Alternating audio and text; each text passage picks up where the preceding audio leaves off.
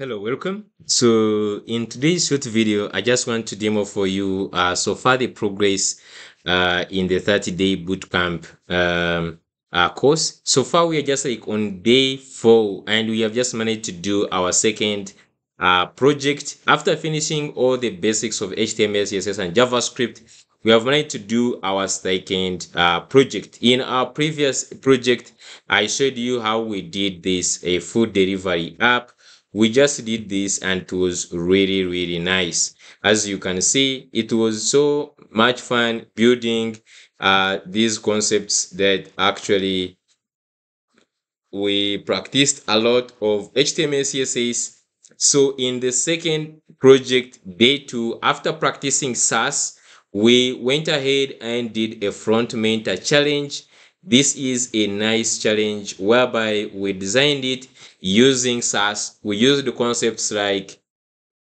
uh, Sass uh, variables. We did uh, the responsive grid, dark mode. So we also combine um, uh, the concepts of uh, rendering where we rendered all these cards from JavaScript.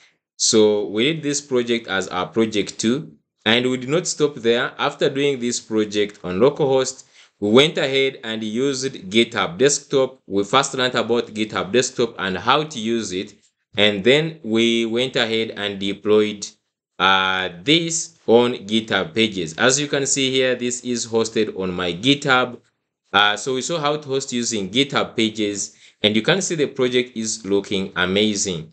It has dark mode uh, which was really one of the things that we cracked how to do dark mode on this, more especially using Sass. And then, of course, using JavaScript.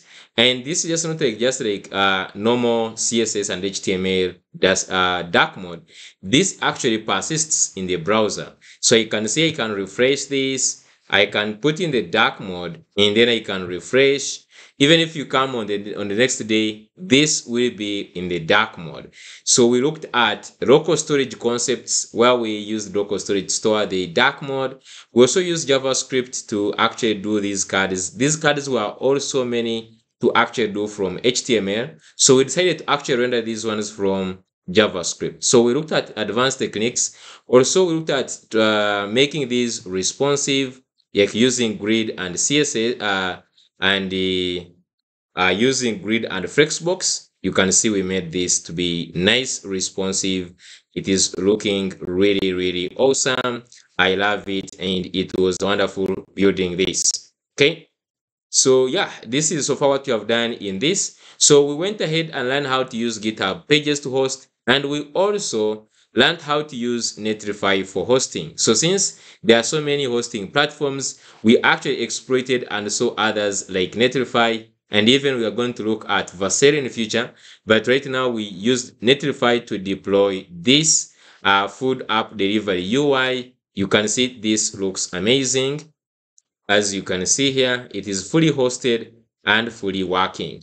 Okay, we looked at also uh, things like using this extension as you can see here, the extension to, uh, to preview our website, how nice they look uh, on these mobile devices. So it was really nice and we're just doing well. And if you haven't signed up for the course, please find the link in the description uh, where you're just going to get a 40% off discount so that you can just learn with me how to build 30 projects in the 30 days. So far you're on day four and we're just working two projects and the remaining uh, days we're just going to be working at a rate of working at at least one project and a half or two projects so that we just come up to patch up to build all those projects we need to do. So thank you so much.